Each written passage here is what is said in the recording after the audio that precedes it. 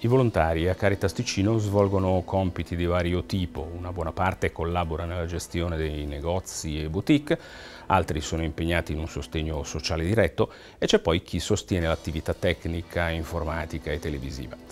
Sono un centinaio i volontari esterni a Caritas Ticino che collaborano regolarmente e a questi si aggiungono diversi operatori professionisti della nostra organizzazione che danno il loro tempo extra lavorativo per contribuire a realizzare cose altrimenti impossibili, come ad esempio questa trasmissione televisiva che va in onda da 11 anni.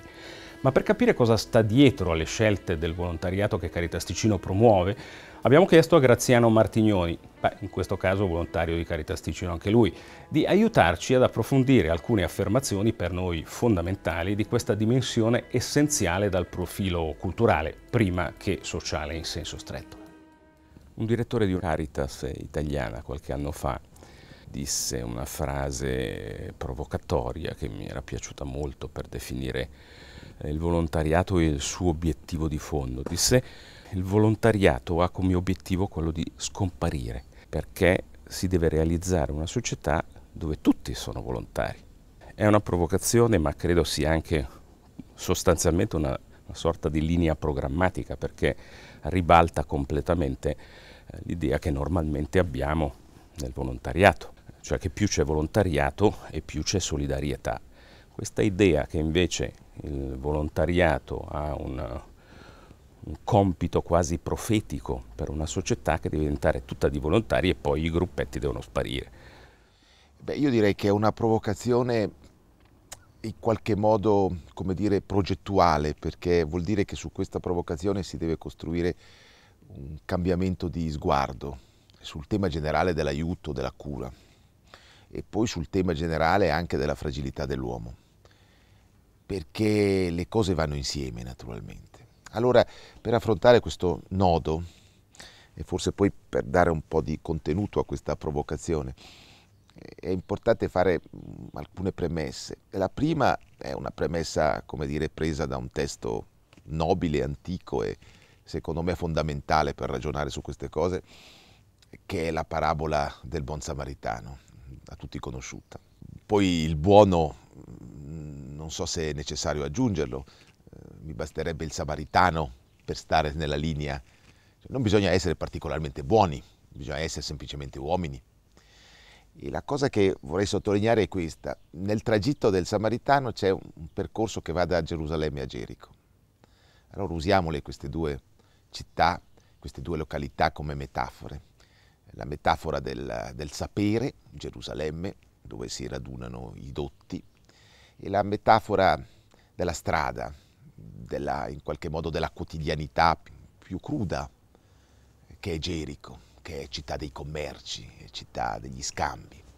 E su quella strada, che è poi la strada che tutti noi pratichiamo quando lavoriamo con gli altri, quando ci impegniamo nell'assunzione di una responsabilità nei confronti dell'altro, quando individuiamo i bisogni di aiuto, di cura, loro e nostri insieme. È una strada che frequentiamo tutti i giorni. A volte ci fermiamo eh, a Gerusalemme o a volte privilegiamo Gerusalemme a volte eh, siamo invitati invece a pensare a, a quello che capita sulla via di Gerico. E cosa ci dice il Vangelo, eh, che è un testo che al di là del suo valore religioso è un testo psicologico incredibile, psicologico nel senso che è un testo che racconta la vicenda dell'uomo, quindi è un testo che appunto al di là della fede che può accompagnare la lettura di questo testo, è un testo di, di un'attualità incredibile. Dice il, il, il samaritano, eh, uomo da nulla, eh, uomo della quotidianità, persino anche un po' emarginata, eh, però eh, esplaniste, venne mosso dalle sue viscere a occuparsi di colui che stava sulla strada. E questo è il primo grande gesto, ovvero la rivoluzione che avviene sulla via, la sovversione che avviene sulla via di Gerico è quella che non basta più i saperi che vengono contenuti nel Tempio o i saperi che vengono contenuti nelle accademie. Dunque è come se la professione, che la parola stessa dice mettere davanti la propria come dire, eh, competenza, come si dice oggi, le proprie eh, conoscenze, le proprie tecniche. La professione viene in qualche modo capovolta e si torna a ciò che sta dietro, che io chiamerei la vocazione. C'è qualcosa che ti chiama. Ora questo qualcosa può essere per ognuno di noi diverso, ma certamente il veicolo di questa chiamata che è alla base, a mio modo di vedere, di qualsiasi relazione d'aiuto. Perché se la relazione d'aiuto o di cura non ha questo cuore, non è, è altra cosa. Questa chiamata che ti è testimoniata, ti è veicolata, ti è portata da quell'altro che ti sta di fronte e che chiama qualcosa in te. Forse chiama il tuo stesso bisogno d'aiuto, richiama alla luce la tua stessa fragilità. Ed è in questa sorta di, come dire, condivisione di destino che nasce l'incontro, di cui il volontario, che sicuramente è più vicino a Gerico che a Gerusalemme, il volontario rappresenta, come dire, un'esperienza eh, privilegiata. Allora, per tornare alla domanda, la dimensione volontaria è su un piano collettivo, su un piano societario, il richiamo al fatto che noi siamo dei fratelli, quest'idea di fraternità. Io credo che l'antropologia cristiana, accanto alle altre antropologie che sono dibattute in questo Occidente, l'antropologia cristiana introduce un elemento, eh, come dire, specifico, che è il tema della fraternità. E la fraternità è quel legame di comunità che fa che siamo tutti, o dovremmo essere tutti, volontari, chiamati, avere tutti noi una vocazione all'aiuto.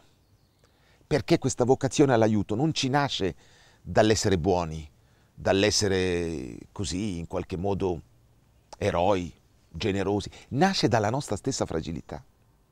È nella nostra fragilità che noi cogliamo la necessità intrinseca di essere chiamati all'altro. Un altro che è fuori di noi, certo che è colui che ha bisogno, colui che semplicemente ci interpella, colui che in qualche modo vive uno stato di sofferenza e, e, e chi più ne ha più ne metta, ma questo incontro con questo altro non sarebbe possibile o sarebbe artificioso, sarebbe in qualche modo del tutto falso se non passasse attraverso l'incontro con questo altro che sta in me. Si dice sempre, sai, lo straniero che sta fuori è, è null'altro che l'immagine dello straniero che ci abita.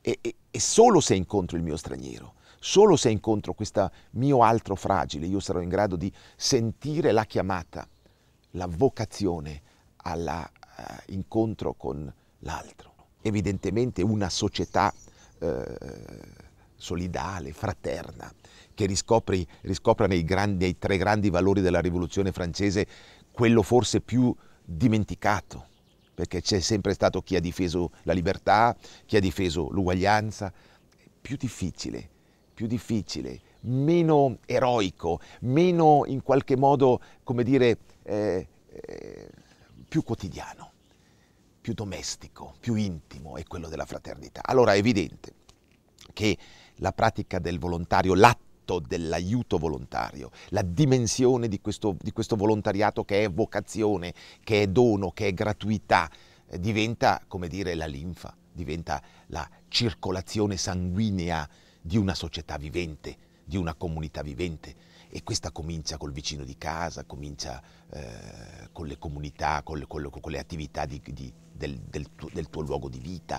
Eh? Non è mai un atto eroico, è un atto che rende eroica la quotidianità.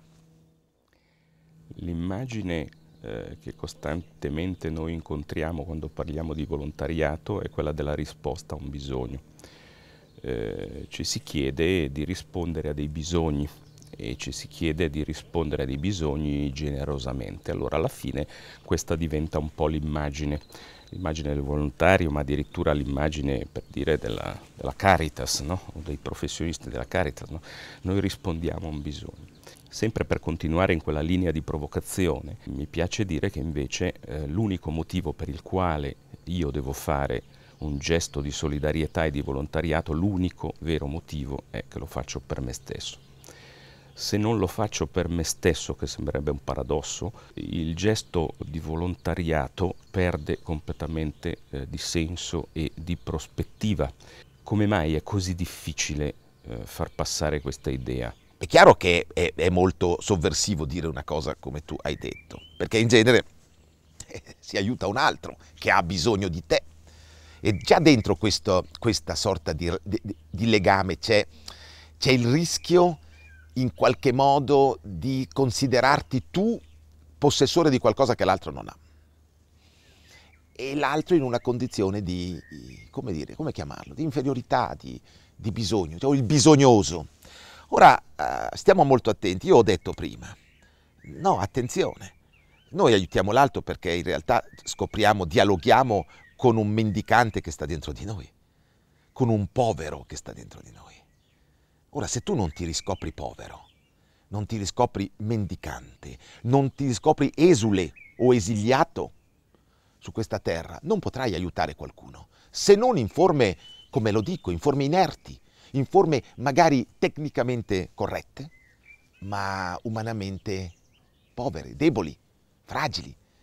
Allora, questa è una rivoluzione, come chiamarla dire, di, di sguardo assolutamente, assolutamente profonda. E allora ritornare a dire, riconosci che nell'aiutare l'altro eh, tu fai un'opera in qualche modo di, eh, come dire, di ripresa di contatto con te stesso e questa ripresa di contatto è quella dimensione che ti permette di fare del volontariato proprio una eh, come dire, dimensione della tua quotidianità, non una dimensione particolare, una dimensione della tua quotidianità. Io ho avuto molto a che fare per varie ragioni con dei volontari di vario ambito e spesso arrivano a fare il volontariato delle persone che sono, come dire, senza eh, uno scopo nella vita sono persone che hanno finito il compito di fare la madre eh, perché i figli grandi, sono persone che sono un po' messe fuori dal mondo del lavoro, insomma cercano un senso alla vita.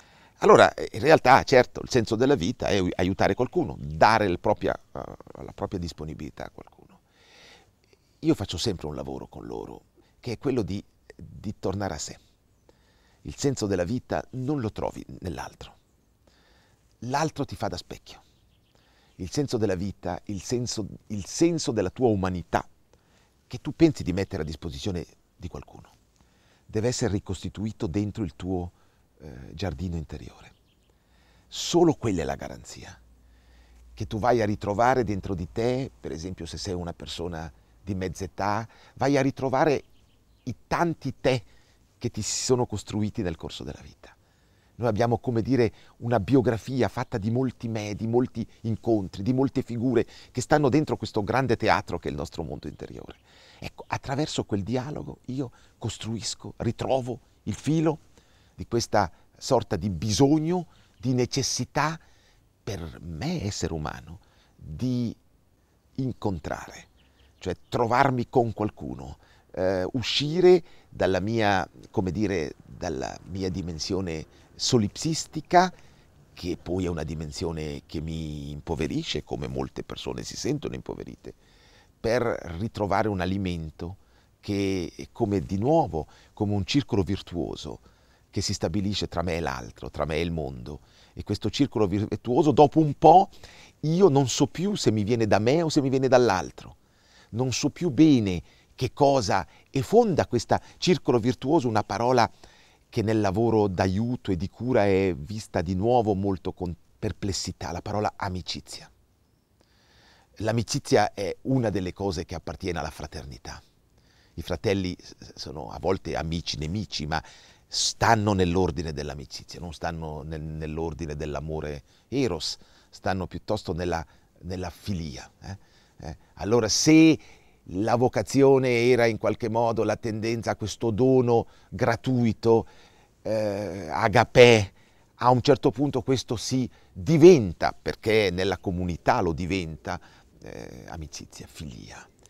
E che meravigliosa società sarebbe se noi alimentassimo la vita collettiva, comunitaria, di equitorno all'inizio del nostro discorso, di questa eh, provocazione, quella di far diventare la, il gesto volontario, il gesto volontario, eh, la condizione di questo ritrovamento di una filia, di un'amicizia eh, che lega gli uomini è una società utopica, forse una società eh, utopica perché naturalmente questa società contiene anche, come tutte le comunità, contiene anche la sua ombra, contiene anche sua, le sue forze più negative, però sarebbe un antidoto potentissimo, mentre le ombre diventano invece dominanti quando alla uh, solidarietà fraterna, all'amicizia si sostituisce l'individualismo dell'azione, il solipsismo, persino il tecnicismo dell'intervento d'aiuto. Questo magari risolve il problema di un minuto,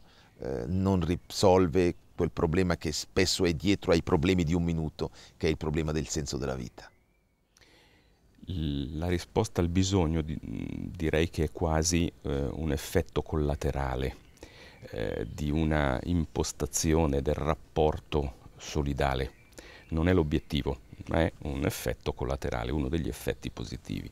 Mi viene da dire che se l'obiettivo eh, per il volontario come per tutti quanti noi che abbiamo la possibilità di essere volontari, perché non bisogna appartenere a nessun gruppo, bisogna solo vivere una dimensione personale nelle cose normali che si fanno.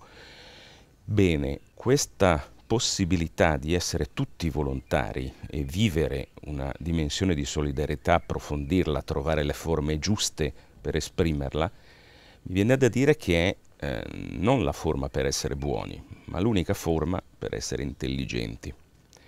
Perché l'unica, credo, possibile società che ha futuro è una, fut- una società che ha eh, l'elemento della solidarietà come uno dei pilastri. L'etica è l'unica forma che ha futuro.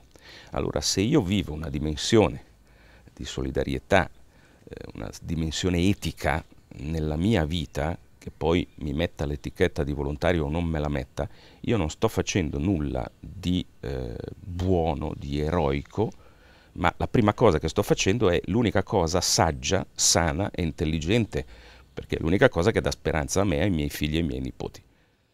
Sì, e la parola etica ci sta proprio, perché bisogna mm, coglierne l'etimologia. Ethos viene a un rapporto etimologico stretto con la parola greca oikos.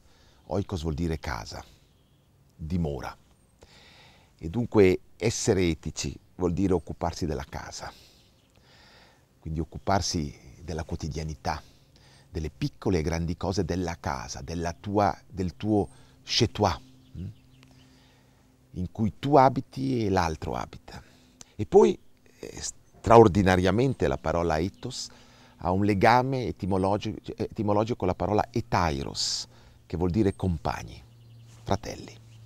Allora vediamo che la parola ethos, etica, non è un insieme di, di dogmi, di norme, al massimo questo è la morale, è i mores, i costumi. Non è questo, è questa dimensione che dice che la condizione dell'uomo, che è una condizione amputata, noi perché abbiamo bisogno degli altri, perché siamo uomini trascendenti, nel senso che siamo aperti e bisognosi degli altri fin da quando siamo piccoli nascituri, perché siamo amputati, perché siamo manchevoli. Se noi non fossimo manchevoli, se fossimo autosufficienti, come oggi si pensa, si dice, uno dei grandi miti della nostra contemporaneità è l'autonomia, l'autodeterminazione, che sono bellissime parole, solo che contengono il rischio di negare un fatto fondamentale che noi in realtà vorremmo essere autodeterminati, autonomi, però senza riconoscere che siamo invece dipendenti, che siamo bisognosi, che siamo manchevoli, da qualche parte eh, entriamo in un circolo vizioso. Allora, voglio dire, ritornare alla dimensione della della, eh, al concetto più profondo della parola etica. Vuol dire che il volontariato, questa pratica, questo gesto, questa attitudine che, che è dentro il professionista anche, non è una categoria, eh? io sono contro l'idea, i volontari, i volontari sono, è un'attitudine, è un modo d'essere, è un modo di fare che può appartenere al professionista, anche il più raffinato e il più specialista, e può appartenere alla persona più lontana dal campo di cui stiamo parlando. Quindi è qualcosa che attiene all'ordine di del, del, una maniera di fare, una maniera d'essere, una maniera di sentire, direi. Ecco, allora tutto questo è etico. E se è etico perché coniuga la casa ai compagni, ai fratelli. Evidentemente una società che dimentica di curare la casa in tutte le sue forme, che dimentica di ascoltare, di accogliere, di ospitare, il tema grande della ospitalità, di ospitare i fratelli. È una società smarrita, è una società da qualche parte destinata alla sua, alla sua perdizione ovviamente. È una società che sta male. E se sta male la collettività, perché sta male la casa, sta male chi vi abita. E la cura, ma non la terapia in senso medico-sociale, sociologico, economico, la cura, eh, la sorghe, la preoccupazione di noi tutti per il benessere della casa e dentro il benessere della casa il benessere di chi vi abita, quindi i nostri fratelli, è credo la grande sfida etica che una società come la nostra, così potente, così potentemente avanzata, eh, deve assumere perché scopre dentro di sé dei, delle zone più o meno vaste, più o meno grandi, più o meno diffuse, che a volte non sono caratterizzabili secondo i criteri sociologici o socio-economici abituali di malessere e di disperazione, di malessere, malessere in cui si sta così male nel mio essere cittadino di quella casa, ospite di quella casa, poi da far soffrire il corpo, da far soffrire le relazioni con gli altri, da far soffrire la mia anima. Grazie mille.